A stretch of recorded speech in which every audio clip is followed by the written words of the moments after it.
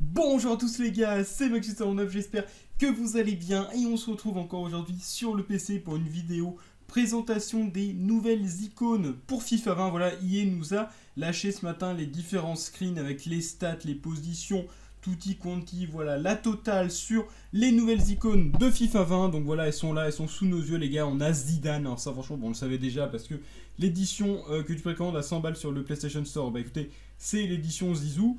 Pirlo, Drogba, Wright, Coman, Carlos Alberto, Garincha, Essien, Zambrota, Barnes, Rush, Sanchez, Guardiola, Dalglish. Ouais, les gars, je propose, on va les passer une à une. Donc, à noter qu'il y en a une quinzaine qui doit arriver. Il y a beaucoup de spéculations sur le fait que ça soit Kaka, voilà, le, ballon d'or qui serait la quinzième. Ils l'ont pas encore annoncé. Je pense qu'ils vont l'annoncer à part, comme ils ont pu faire pour Zizou avec le petit mode, de, voilà, tout ça, la petite présentation en vidéo ultra stylée.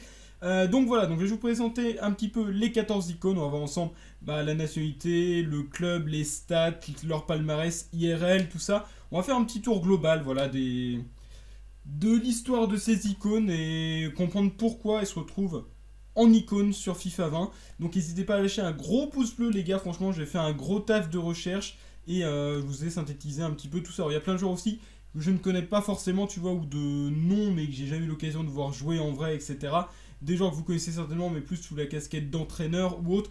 Bref, donc voilà les gars, c'est parti. Et bien évidemment, petite, petite précision, bah, toutes les icônes de FIFA 19 seront là encore. Il y a du Puyol, il y a Campbell, il est toujours là, il y a Blanc, il y a Gattuso. Voilà les gars, il y a tout le monde. Donc j'espère vraiment que la vidéo va vous plaire. Et je vous dis, franchement, n'hésitez pas à lâcher le petit pouce bleu parce que je crois que j'ai jamais mis autant de temps pour préparer une vidéo en termes de recherche d'informations, de montage, tout ça.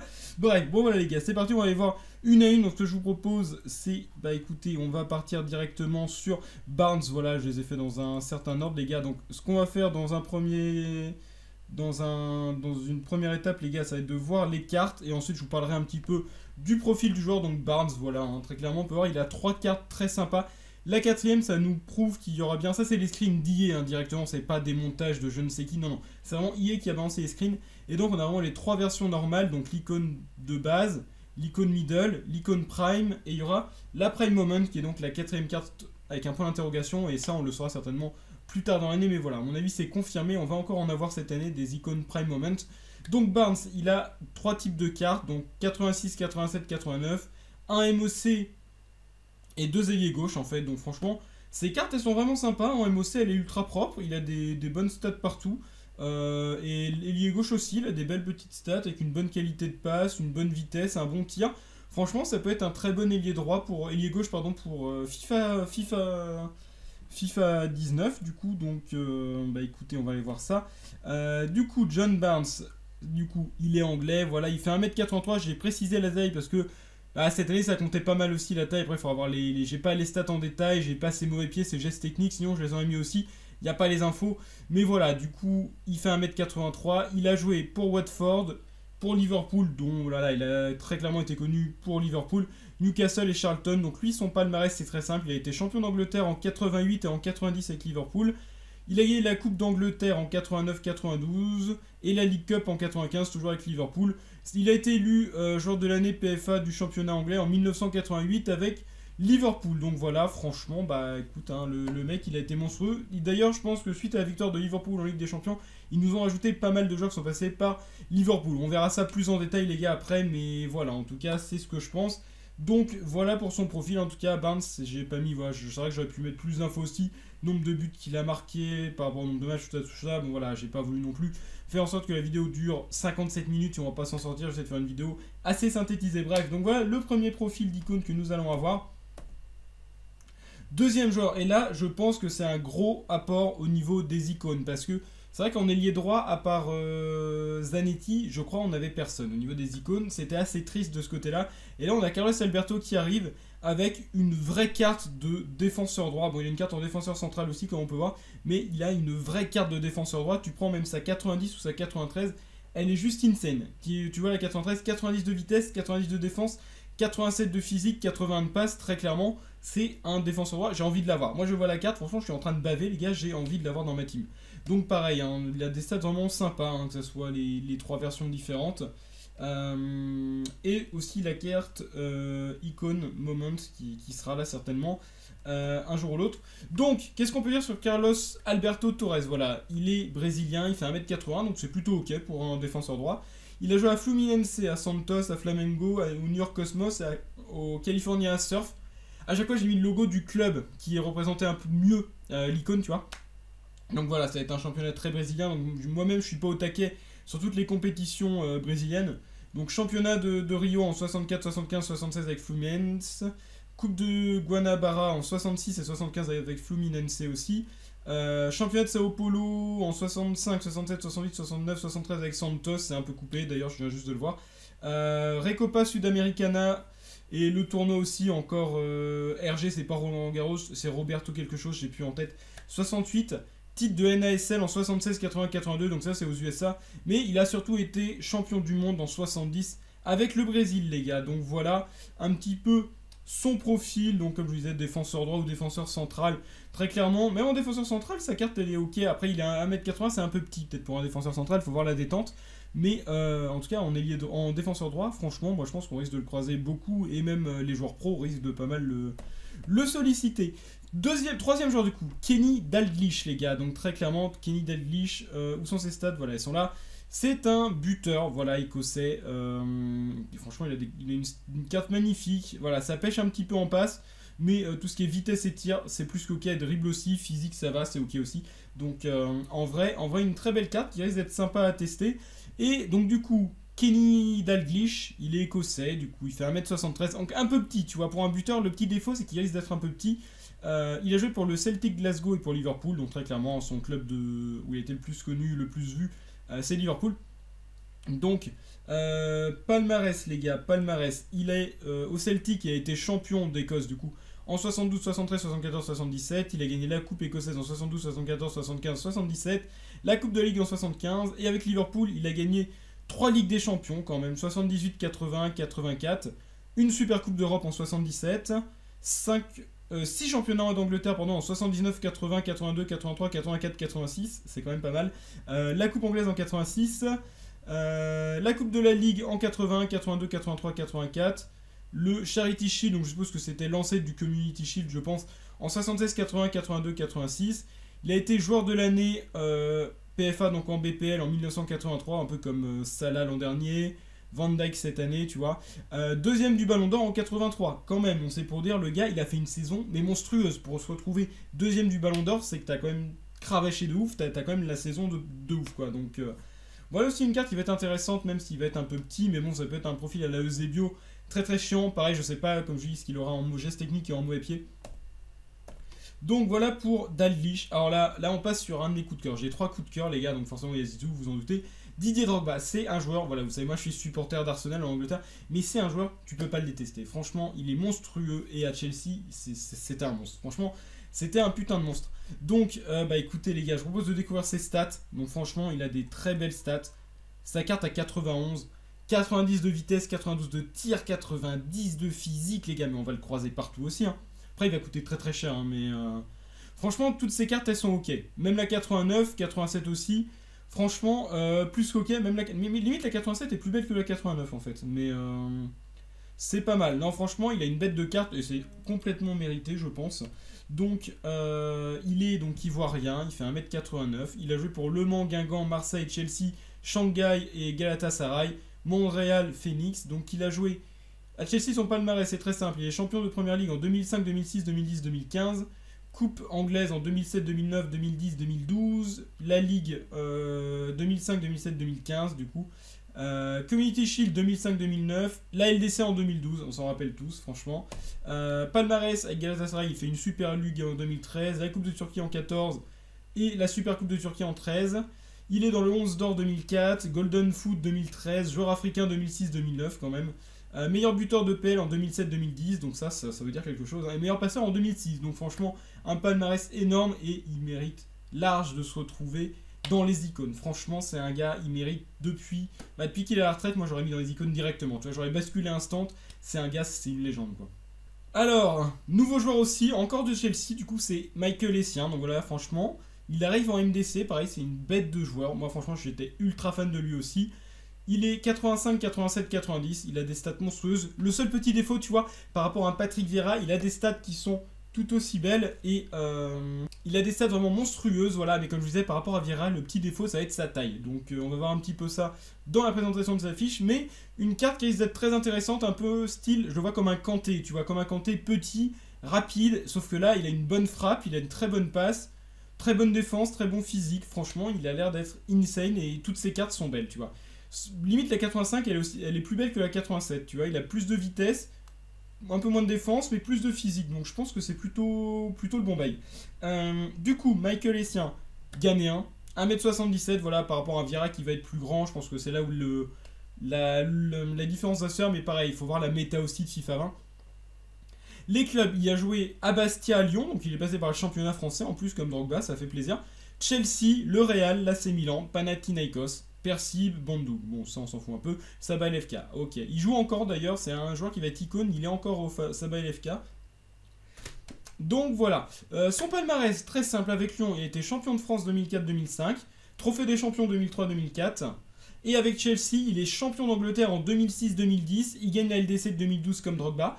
Euh, Coupe d'Angleterre en 2007, 2009, 2010, 2012 la, Coupe de la Ligue en 2007 et le Community Shield en 2009. Pareil, c'est nommé meilleur, joueur de Ligue 1 en 2005, donc franchement, bah, c'est énorme d'être nommé meilleur joueur de Ligue 1 en 2005, surtout quand tu es un milieu de terrain. Souvent, c'est quand même plus les attaquants tu vois, qui sont mis en, en avant sur ce genre de trophée.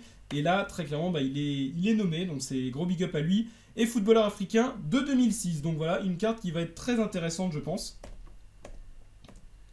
Euh, ensuite, nous passons à euh, Garincha. Du coup, donc voilà, pour le coup, c'est un joueur que je connais pas très clairement. Euh, je, l'ai découvert tout à l'heure en checkant un petit peu tout ça.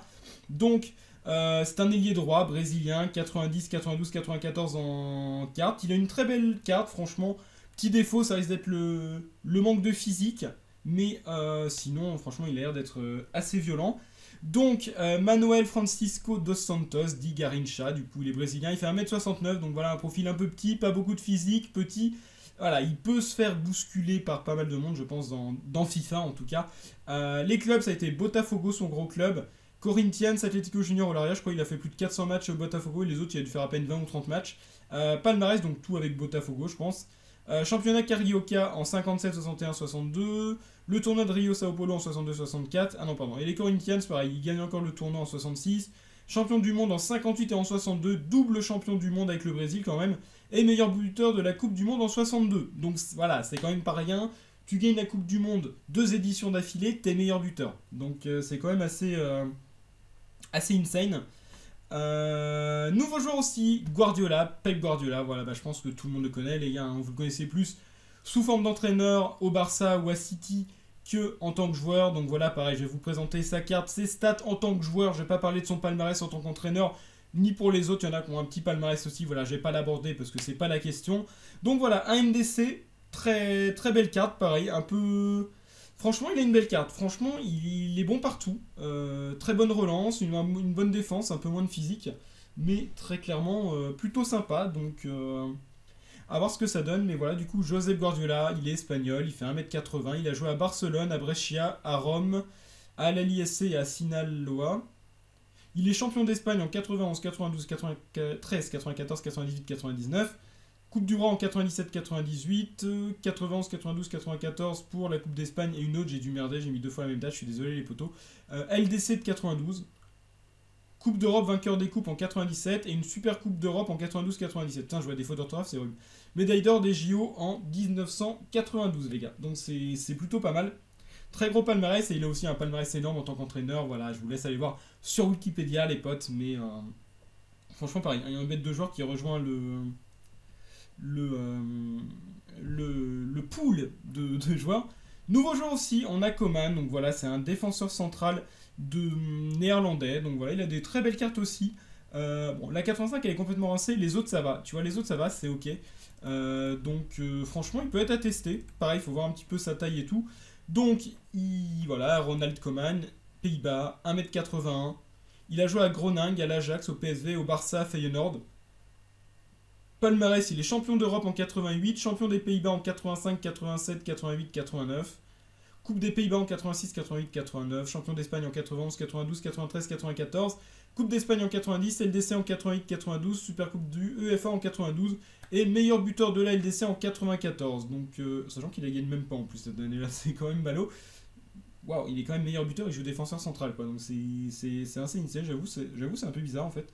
Mais euh... bon, bah c'est comme ça les gars en tout cas. Donc bah gros GG à lui une carte plutôt intéressante. Euh, voilà, un autre coup de cœur à moi, je pense, ça va être Andrea Pirlo. Donc voilà, après, ces cartes sont pas folles, euh, très clairement, mais c'est normal aussi en même temps. Il avait pas beaucoup de vitesse, il avait un peu de tir. La qualité de passe, elle est énorme. Il était pas trop défense, pas trop physique, pas mal de dribble. Donc voilà, ça des cartes, ça va pas forcément être ultra facile à, jouer. Après, ça sera plus pour jouer pour le kiff, je pense, avec, je Pirlo. Il risque pas de coûter très très cher.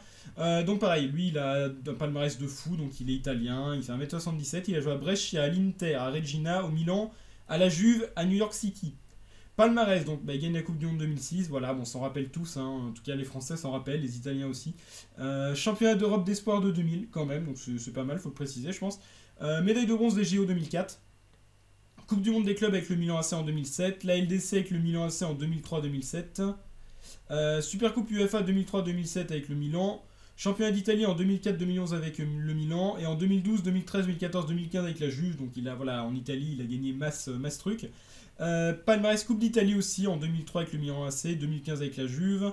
Super Coupe d'Italie 2004-2011 Milan, 2012-2013 Juve. Cinquième du Ballon d'Or en 2007. Meilleur joueur de Serie A en 2012, 2013, 2014.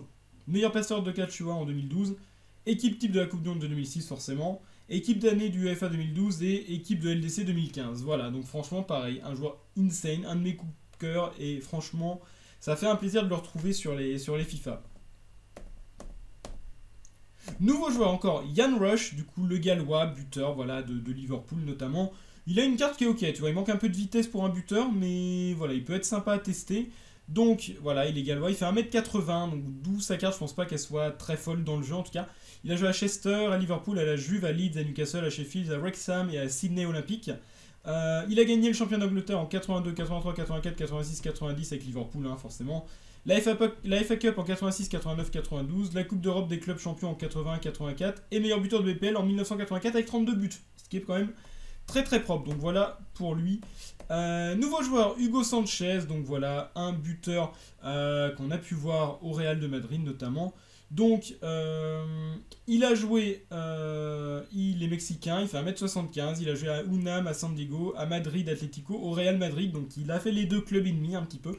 América, Rayo, Vallecano, pardon, Atlante, mais ça c'est un club au Mexique, Linz, Dallas, Celaya. Donc avec UNAM, il est champion du Mexique en 76-80.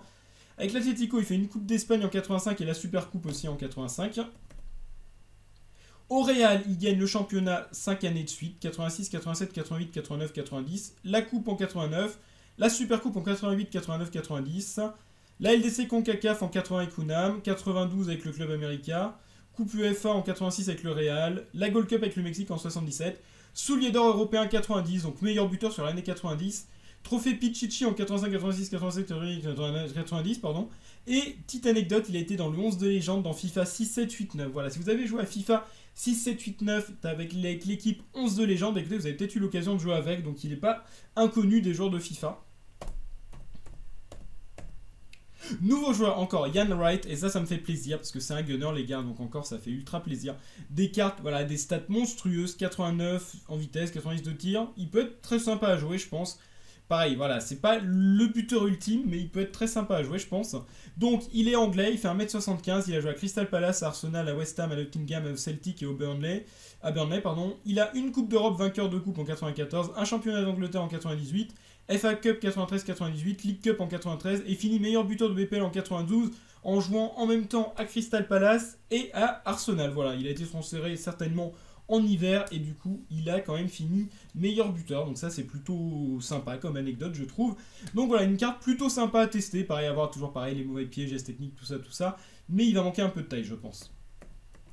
Alors un autre champion du monde 2006 hein, Zambrota les gars pareil. Un autre défenseur droit qui peut être sympa. Il a une moins belle carte que le, brésilien je trouve. Mais euh, franchement pareil très sympa à faire je pense. Donc je vous laisse regarder un peu. Il a deux cartes à gauche une carte deux cartes à droite une carte à gauche pardon donc voilà, très clairement, 86, 89, il a des, bêtes de stats. Donc à tester.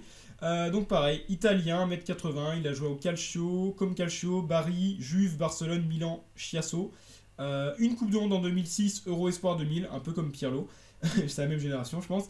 Champion d'Italie en 2002-2003 avec la Juve, 2011 avec le Milan, Super Coupe d'Italie en 2003-2011 et la Super Coupe d'Espagne en 2006. Voilà un petit peu pour son profil, plutôt pas mal.